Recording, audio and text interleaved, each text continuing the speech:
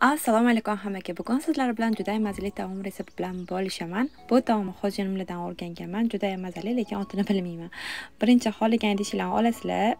Issiq qilib olganman keyin sariyog' surib oldim va mol go'shtini somsaga to'g'ragandek to'g'raymiz faqat undan sal kattaroq bo'ladi va hamma sabzavotlarni shunaqa to'g'rab olamiz. Mayda qilib chesnolarni ham pomidori ham bulg'or qalampirlarni har xilidan ishlatdim. Qancha ishlatganim endi yozib qoldiraman. Paprika murch tuz tabga ko'ra tuz tamatam sovorasizlar bir osh qoshiq yog' soldim. Tomat bo'lgani uchun ozgina shakar sepib oldim.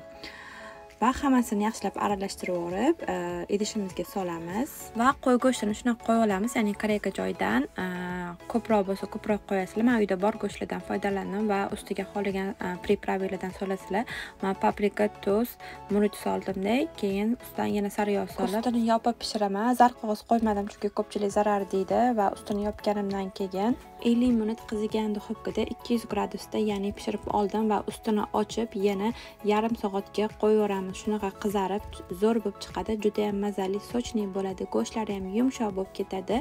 Sizlarga ham oq qog'oz o'rashinglarni tavsiya qilaman. Chunki hozirda ko'pchilik aytyapti zarli qog'oz ishlatsanglar zarar deb. Albatta tayyorlab ko'ringlar sizlarga yoqadi degan umiddaman. Chunki mana bu sevimli taomlarimdan biriga aylangan. Hammaga yoqimli ishtaha.